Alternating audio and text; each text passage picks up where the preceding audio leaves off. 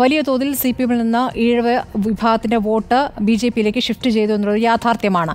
അതോടൊപ്പം തന്നെ മറ്റു ചില ഘടകങ്ങൾ കൂടിയില്ലേ? ഇപ്പോൾ ബി ജെ പിയിൽ ഈഴവ വിഭാഗത്തു നിന്നുള്ള നേതാക്കൾക്ക് പ്രാമുഖ്യം ലഭിക്കുന്നു എന്നൊരു കാര്യം കൂടിയുണ്ട്.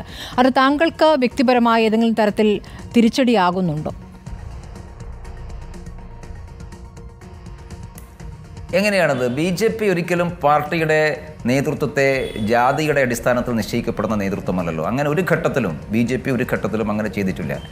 ബി ജെ പി കേരളത്തിലെ എല്ലാ ജനവിഭാഗങ്ങളിലേക്കും തങ്ങളുടെ സ്വാധീനം വർദ്ധിപ്പിക്കണം എന്ന് ഞങ്ങൾ കൂട്ടായിടത്തിലുള്ള തീരുമാനമാണ്. ഞങ്ങൾക്ക് സ്വാധീനമില്ലാതിരുന്ന ജനവിഭാഗങ്ങളുണ്ട്. ആ ജനവിഭാഗങ്ങളിലേക്ക് പോവുക എന്നുള്ളതാണല്ലോ ഒരു സജീവമായിരിക്കുന്ന രാഷ്ട്രീയ പാർട്ടി ചെയ്യേണ്ടത്. ഞങ്ങൾക്ക് ഞങ്ങളെക്കുറിച്ചുള്ള പ്രധാനപ്പെട്ട ആക്ഷേപം എന്തായിരുന്നു? ഞങ്ങളൊരു അപ്പർ ക്ലാസ് ഹിന്ദുവിന്റെ പാർട്ടിയാണ് എന്നുള്ളതായിരുന്നു. അത് വസ്തുതയായി ബന്ധമില്ല. പക്ഷേ ഞങ്ങളെക്കുറിച്ചുള്ള നിരന്തരമായിട്ടുള്ള അധിക്ഷേപം അതായിരുന്നു. ഞങ്ങൾ ആ അധിക്ഷേപം ബോധപൂർവം ഈ പ്രാവശ്യം മാറ്റാൻ വേണ്ടി കഴിഞ്ഞ കുറേ കാലമായിട്ട് പരിശ്രമിക്കുന്നു.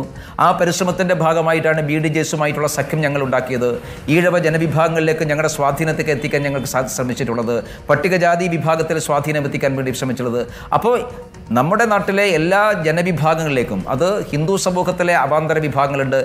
ഒന്ന് ചെറിയ ഇപ്പം നമ്മൾ പറയുമ്പോൾ ഒന്നോ രണ്ടോ സമൂഹം മാത്രമല്ല പത്തു നാൽപ്പതോളം സാമുദായിക സംഘടനകൾ കേരളത്തിലുണ്ട്. ആ സാമുദായിക മറ്റ്. നേതാക്കൾക്ക് ലഭിച്ച രൂപത്തിലുള്ള സംഘടനാ ഉത്തരവാദിത്തങ്ങൾ എം ടി രമേശ് എന്ന നേതാവിന് ലഭിച്ചില്ല എന്ന് പറഞ്ഞാൽ എന്താണ് താങ്കളുടെ മറുപടി? അതിലൊരു വസ്തുതയുമില്ലല്ലോ. ഞാൻ നിങ്ങളുടെ മുമ്പിലിരിക്കുന്നത് ബി ജെ പിയുടെ സംസ്ഥാന ജനറൽ സെക്രട്ടറി ആയിട്ടല്ലേ. ഈ പാർട്ടിയിൽ ഞാൻ മുമ്പൊരിക്കലും നിങ്ങളുടെ തന്നെ ഇന്റർവ്യൂവിൽ ഞാൻ പറഞ്ഞിട്ടുണ്ട്. എന്റെ ജീവിതത്തിൽ ഞാൻ ഈ പാർട്ടിയിൽ എല്ലാ ചുമതലയിലും വന്നിട്ടുണ്ട്. ഇനിയിപ്പോൾ കേരളത്തിൽ ഞാൻ വഹിക്കേണ്ട ഒരേ ഒരു ചുമതല മാത്രമേ ബാക്കിയുള്ളൂ. ബാക്കി എല്ലാ ചുമതലയും വഹിച്ചിട്ടുണ്ട്. എന്നെ പോലെയുള്ള ഒരു സാധാരണക്കാരൻ ഞാൻ അത്ര വലിയ വലിയ ആളെന്നല്ലല്ലോ. ഒരു സാധാരണക്കാരന് ഈ ചുമതലയിലേക്കൊക്കെ എത്താൻ സാധിച്ചിട്ടുണ്ടെങ്കിൽ എന്നെ പാർട്ടി പരിഗണിച്ചു എന്നല്ലേ?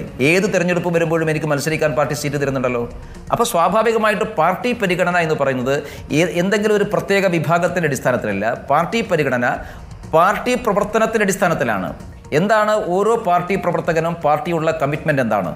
ആ കമ്മിറ്റ്മെന്റിനെ അടിസ്ഥാനപ്പെടുത്തിയാണ് പാർട്ടി ചുമതല നിശ്ചയിക്കുന്നത്.